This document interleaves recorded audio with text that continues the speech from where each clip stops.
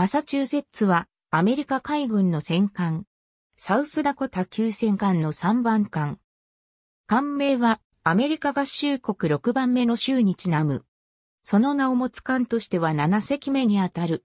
マサチューセッツは1939年7月20日にマサチューセッツ州クインシーのベスレヘムスチール社で寄港した。1941年9月23日にフランシス・ラバリング・アダムズによって命名、浸水し、ボストンで1942年5月12日に初代艦長フランシス・ E.M. ホイッティング大佐の指揮下、収益した。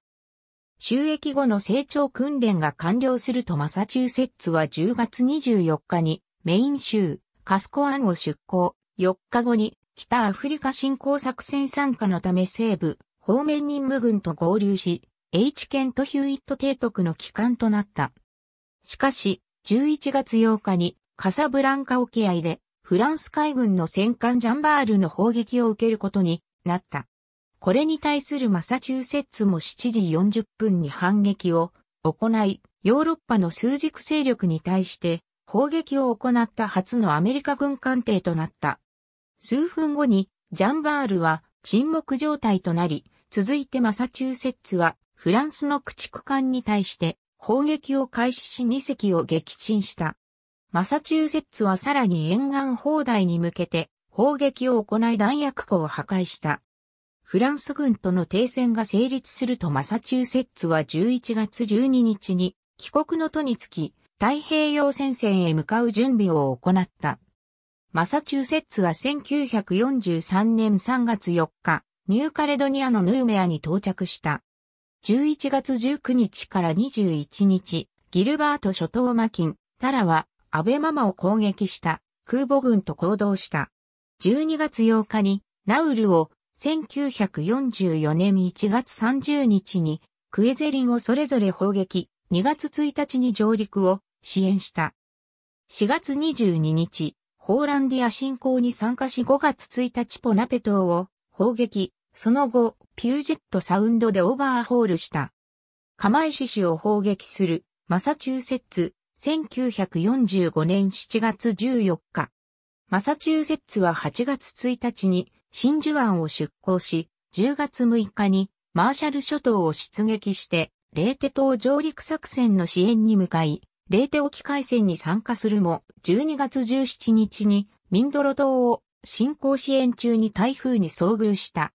マサチューセッツは12月30日から1945年1月23日の間は台湾を攻撃、リンガ沿湾上陸支援を行った第38任務部隊に所属していた。マサチューセッツはその後沖縄戦に参加し、6月10日に南大東島にて砲撃を実施した。マサチューセッツは1945年7月1日にレーテ湾を出港し、第3艦隊の日本本土に対する最終攻撃に合流した。東京空襲に向かう空母部隊の護衛を行った後の7月14日に、釜石を日本で2番目の規模の製鉄所を破壊した2週間後に、浜松を艦砲を射撃し、石油コンビナートを破壊した。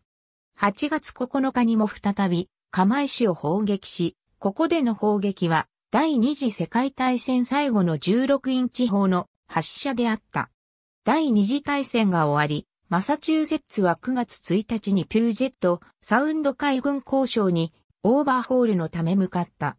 作業が完了すると1946年1月28日にカリフォルニア沖に向けて出港。その後サンフランシスコからハンプトンローズに向かい、4月22日に到着した。マサチューセッツは1947年3月27日に退役し、バージニア州ノーフォークの大西洋、艦隊予備役艦隊入りした。その後、1962年6月1日に除籍された。ビッグマミーことマサチューセッツは1965年6月8日、1965年8月14日にマサチューセッツ州フォールリバーにあるバトルシップ後部に係留され、第二次世界大戦に自らの命を捧げた人々の記念碑として、現在も公開されている。